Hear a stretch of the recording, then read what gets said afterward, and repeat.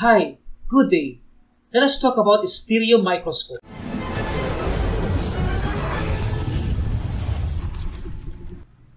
A stereo microscope is an optical microscope that provides a three-dimensional view of a specimen.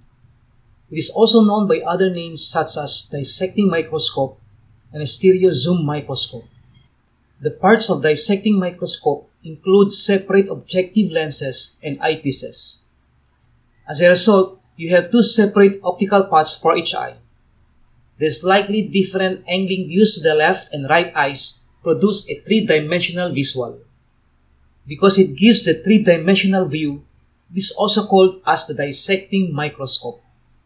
The earliest example of a stereo microscope was designed and built in 1671 by Chérubin d'Orleans, though it was a pseudo-stereoscopic design which had major flaws. Only by application of additional lenses was image selection achieved, and the right side image was projected to the left eyepiece and vice versa. It was not until over 150 years later that further work on stereo microscopy was carried out after Sir Charles Wheatstone's treatise on binocular vision. The first true stereo microscope was developed in the mid-19th century by Francis Herbert Wenham. His design used a prism to split the light beam. Since then, the stereo microscope has evolved to become a standard piece of equipment in most laboratories. Every component of the stereo microscope has its own function. The parts included with this type of microscope can vary greatly depending on the configuration and uses it will serve. Each part of the stereo microscope is labeled in this diagram. The stereo head. This is the movable top portion of the microscope and the stereo head holds the two adjustable eyepieces. Ocular lens. These are the eyepieces through which the viewer looks at the specimen. The eyepieces are typically set at 10 times magnification. It is also possible to upgrade to a higher magnification level. Diopter setting. It compensates for the focusing differences between the left and right eye. Setting it correctly prevents eye strain. Stereo microscopes have two separate objectives, each one connecting to one of the eyepieces. The eyepiece and the objective lenses collectively determine the magnification of the microscope. They can have a fixed single objective, a rotating multiple lens turret, or a zoom. And it allows you to change the magnification levels depending on the applications. Focus knob. Stereo microscopes usually have one focus knob. Helps move the head of the microscope up and down to bring a sharp image of the object. Most dissecting microscopes have standard rack and pinion focusing. Rack is the track with teeth and pinion is the gear that rides on the teeth. The knob helps the pinion move along the rack. Lighting. Many microscopes have both top and bottom lighting. The top lighting shines down on the specimen and reflects lights off them. The bottom lighting transmits light up through the stage to show translucent specimens. The next part is called stage clips.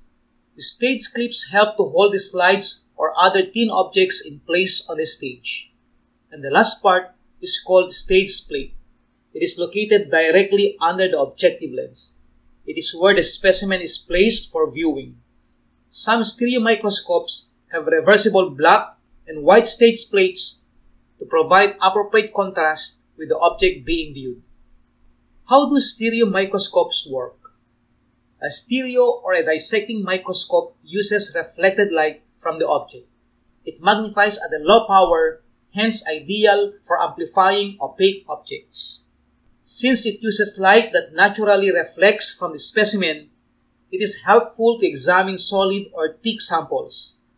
The magnification of a stereo microscope ranges from 20 times and 50 times. Opaque objects like coins, fossils, mineral specimens, insects, or flowers are visible under a dissecting microscope magnification. A stereo or dissecting microscope is not the same as a compound microscope. Unlike the compound microscope, the image formed in a stereo microscope is upright and not upside down and backward. A compound microscope yields a single optical path resulting in the same image to both the left and the right eye. A stereo microscope provides two optical paths for each eye resulting in three-dimensional view. A compound microscope helps to look at samples under magnification as high as 40 times to 1000 times or more. Examples include the viewing of animal or plant cells, blood counts, chromosomes, and bacteria. A stereo microscope, also referred to as stereo zoom microscope, uses low magnification and it can be either fixed magnification. It is also used to view electronic components such as circuits, surface soldering, jewelry repair, fossil examination, insect or botanical dissections. If this is your first time watching my video, make sure you hit the subscriber button.